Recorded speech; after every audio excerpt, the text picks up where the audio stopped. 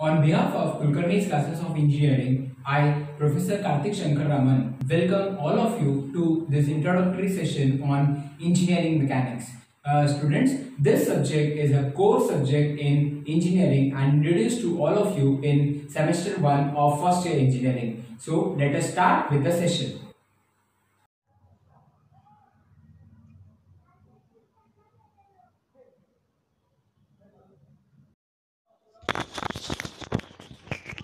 As shown in the slide, mechanics is a branch of physical science which deals with the state of rest or motion of bodies under the action of forces. Mechanics is classified into two branches. One is statics, another one is dynamics. See guys, statics means it is consists of equilibrium of bodies that is no accelerated motion under the action of forces for example consider a block which is kept ideal on the ground मतलब आपने एक block को सिर्फ़ ground के ऊपर रखा है. Means the block is under the static condition that is rest condition so आपने अगर ब्लॉक के ऊपर फोर्स लगाया और फोर्स लगाने के बाद भी अगर वो ऑब्जेक्ट सिर्फ़ और सिर्फ़ रेस्ट कंडीशन में ही है in that case the analysis whatever we are going to do is comes under the statics and now the dynamics is a similar opposite to the statics that means अगर वही block के ऊपर आपने force लगाया और force के वजह से if the block starts moving that means the block has change is position from one point to the another point then it comes under dynamics that is dynamics is only deals with the motion of the body so in dynamics the body will be in the continuous state of motion but in statics the body will be in the continuous state of rest now guys dynamics has further divided into two types. One is kinematics and one is kinetics.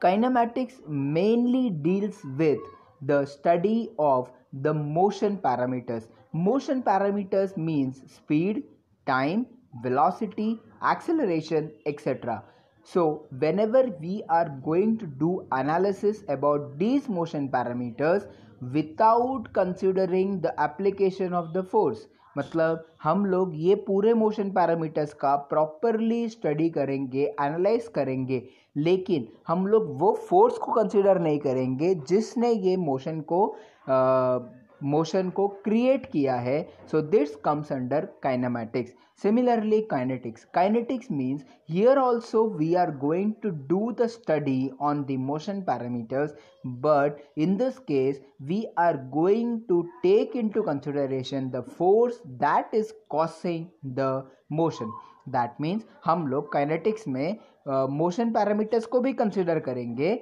लेकिन force के साथ अभी for example आपने एक football को kick मारा तो football को किक मार के छोड़ दिया तो फुटबॉल को किक मारने के बाद वो क्या करेगा?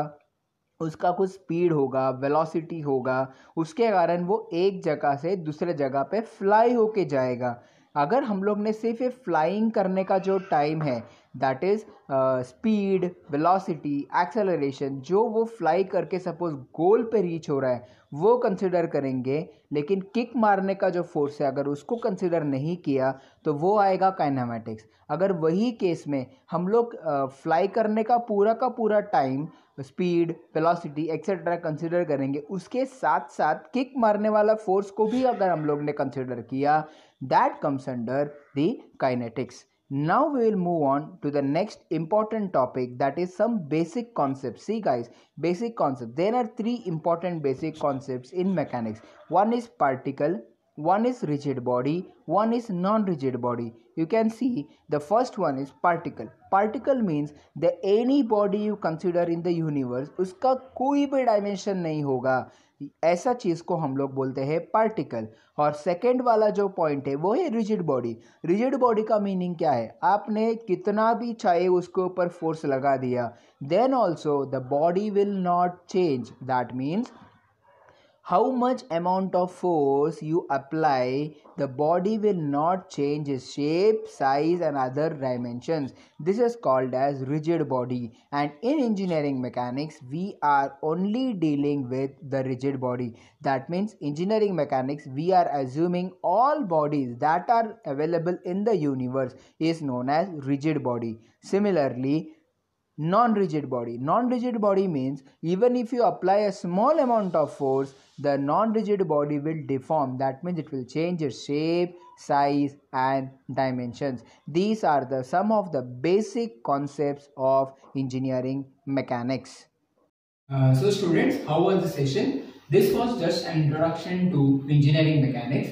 This subject is a very vast subject and contains a lot of variety of examples and it is uh, common to all the branches.